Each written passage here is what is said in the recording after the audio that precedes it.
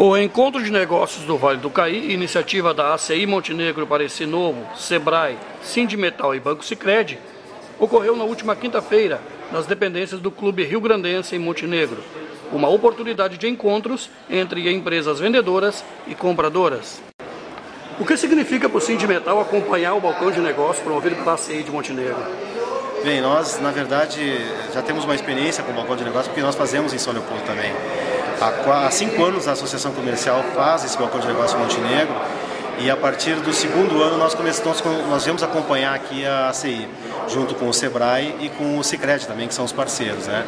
Para nós é muito importante a presença em função de que Montenegro é uma cidade da nossa base territorial e em função disso nós temos a necessidade de vir para cá para poder dar apoio às empresas metalúrgicas aqui da região. Por isso que a gente está vindo com essa força em cima da rodada de negócios, do balcão de negócios da, junto com a Associação Comercial, né, com essa questão de apoio para as empresas metalúrgicas.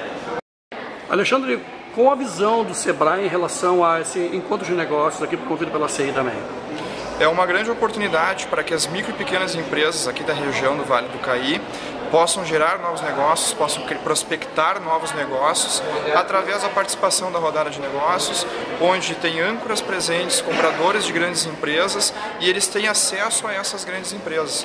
Muitas vezes esses pequenos empresários têm dificuldade de conseguir acessar as áreas de compras dessas grandes empresas e aqui, através do evento, essa oportunidade é criada, é viabilizada e os pequenos empresários acabam tendo contato com esse pessoal e criam a oportunidade de negócio para os seus, para os seus empreendimentos. Gostaria de destacar também que esse quinto encontro de negócios foi realizado pelo SEBRAE, pelo Cicred, pelo Sindimetal e pela Associação Comercial de Montenegro, uma parceria que já vem de um longo tempo, estamos no quinto ano realizando esse evento e para 2011, desde já o Sebrae se coloca à disposição para realizar a sexta edição e gerar novas oportunidades de negócio para as micro e pequenas empresas aqui da região do Vale do Caí.